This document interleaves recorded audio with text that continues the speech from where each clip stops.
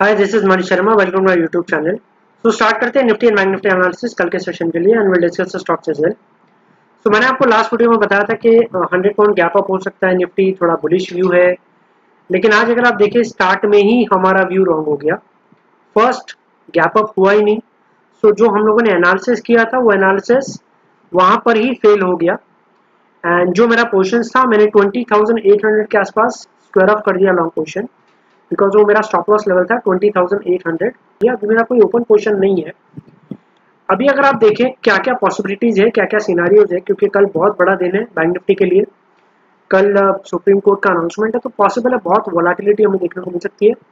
सो so, कल अगर आप ट्रेडिंग कर रहे हो तो कल मोस्ट प्रोबेबली 50 परसेंट या 25 परसेंट क्वान्टिटी में ही ट्रेड करना। कम से कम क्वांटिटी में ट्रेड करना। एंड बॉटम कैच करने की कोशिश मत करना। क्योंकि पॉसिबल है कि मार्केट बहुत ज़्यादा भी गिर सकता है, या पॉसिबल है एक रिवर्सल भी देखने को मिल सकता है। बहुत तो पॉसिबिलिटीज आर देर को ज़्यादा क्वांटिटी में ट्रेड नहीं करना है। जो आप नॉर्मली ट्रेड करते हो, उसका 50 परसेंट या 25 परसेंट क्वान्टिटी में ही ट्रेड करना है। अभी अगर आप निफ्टी देखते हो एग्जैक्टली निफ्टी सपोर्ट लेवल के आसपास है। 9850 के आसपास इसका एक सपोर्ट है। यहाँ पर एक गैप सपोर्ट भी ज़रूर है। यहाँ पर गैप सपोर्ट है 9700 के आसपास। प्लस यहाँ पर एक और सपोर्ट है 9585 के आसपास। ठीक है? सो मल्टीपल सपोर्ट्स है निफ्टी में ऐसा नहीं है कि निफ्टी में सपोर्ट्स नहीं है। लेकिन ये सपोर्ट्स होल्ड करेगा या नहीं करेगा वो हमें देखना पड़ेगा। सो so, ये सपोर्ट के आसपास प्राइसेस आने के बाद कैसे रिएक्ट करता है और उसके हिसाब से हमें ट्रेड लेना पड़ेगा। तो so, अभी फ़िलहाल वेट एंड वॉच है। देखेंगे ऑब्ज़र्व करेंगे एनालिसिस करेंगे उसके बाद ट्रेड लेंगे। तो so, अभी फ़िलहाल वेट एंड वॉच है निफ्टी में। अब बैंक निफ्टी देखते हैं। बैंक निफ्टी में भी अगर आप देखें एक सपोर्ट यहाँ पर आता है 19,600 के आसपास। 20,200 एक सपोर्ट है 19,600 एक सपोर्ट है। ये दो इंपॉर्टेंट सपोर्ट है।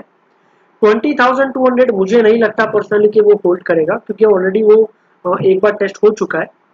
तो 20,200 मुझे नहीं लगता। लेट सी फिर भी देखेंगे। अगर प्राइजेस होल्ड करता है तो ठीक है नहीं करता है तो ठीक है। वरना नेक्स्ट इमीडिएट सपोर्ट आता है 19,600 19,500 के आसपास। अब देखते हैं कि वहाँ पर होल्ड करता है या नहीं करता है। अगर वो सपोर्ट भी टूटता है तो एक बड़ा करेक्शन हमें देखने को मिल सकता है।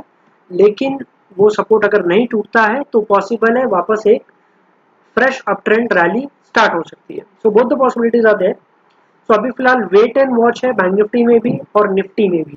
अब डिस्कस करते हैं स्टॉक्स लास्ट के वीडियो में मैंने जो आपको स्टॉक्स दिए थे, उसमें Axis bank stop loss trigger हुआ है। एंड टेक बैंक में बाई ट्रिगर ही नहीं हुआ, क्योंकि मैंने जो बाई लेवल दिया था, उसके ऊपर प्राइस गया ही नहीं। रिलायंस में भी बाई ट्रिगर नहीं हुआ, क्योंकि 1580 के ऊपर बाई दिया था, उसमें भी ट्रिगर हुआ नहीं। एक ही ट्रेड ट्रिगर हुआ है लास्ट वीडियो में एक्सिस बैंक और वो भी स्टॉप लॉस ट्रिगर हुआ है। अब डिस्कस करते हैं कल के ट्रेडिंग सेशन में कौन से स्टॉक्स पे ज़्यादा ध्यान देना है। कल के सेशन के लिए मैंने स्टॉक्स थोड़े कम सिलेक्ट किए हैं, क्योंकि थोड़ा सा बैकफुट पे होके आपको ऑब्ज़र्व करना पड़ेगा मार्केट ना कि आपको फ्रंट फुट पे जाके ट्रेड करना पड़ेगा। कल थोड़ा ऑब्जर्विंग डे होगा मार्केट में। ट्रेड भले आप मंडे को करो या कल क्लोजिंग के टाइम करो तो भी चलेगा। लेकिन कल एक क्लियर व्यू डायरेक्शन डिसाइड हो जाएगा। So wait and watch and observe इसीलिए मैंने कम स्टॉक सिलेक्ट किए हैं। फ़र्स्ट स्टॉक है डॉक्टर रेड्डी डॉक्टर रेड्डी अगर आप देखें, मैंने आपको वीडियो में बाई भी दिया था लास्ट वीडियो में, और ये ऊपर भी गया था, ऐसा नहीं है। लेकिन अब इसका जो स्ट्रक्चर है, एक फॉल्स ब्रेकआउट स्ट्रक्चर बन चुका है। अगर आप देखो, ये फॉल्स ब्रेकआउट स्ट्रक्चर है।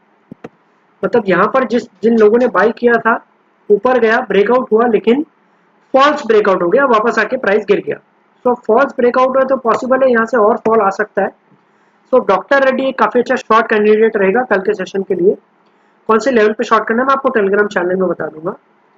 एंड नेक्स्ट स्टॉक होगा मनापुरम फाइनेंस मनापुरम फाइनेंस अगर आप देखें सेटअप बहुत अच्छा है और ब्रेकआउट लेवल के ऊपर ही इनफैक्ट ट्रेड कर रहा है अभी भी। और 100 डे मूविंग एवरेज के ऊपर है।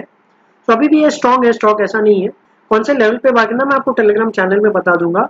कल के सेशन के लिए मैंने दो ही स्टॉक सेलेक्ट किए हैं क्योंकि ज़्यादा ओवर ट्रेड करना नहीं है। कल थोड़ा ऑब्जर्विंग मार्केट है तो, तो कल थोड़ा ध्यान से आपको ट्रेड करना है कम क्वांटिटी में ट्रेड करना है और ज़्यादा आपको मार्केट पहले ऑब्ज़र्व करना पड़ेगा उसके बाद ट्रेड लेना पड़ेगा। आज के वीडियो में इतना ही। Thanks lot for watching the video see in the next video